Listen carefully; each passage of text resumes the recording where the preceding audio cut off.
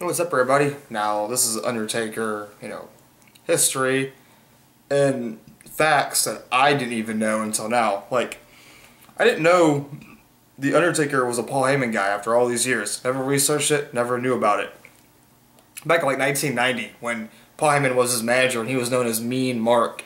I think it's very interesting knowing that The Undertaker had rivalries with Paul Heyman's client Brock Lesnar for years. you know, it's like Paul Heyman guys fight Paul Heyman guys.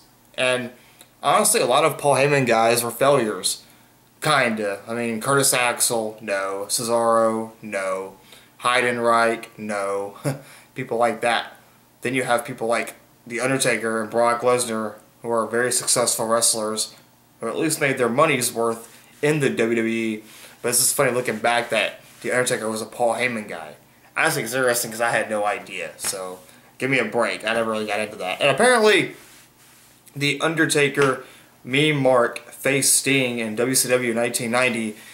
This was not when The Undertaker was an established wrestler. This was not when The Undertaker was The Undertaker. when he was Mean Mark, or whatever his name was in WCW.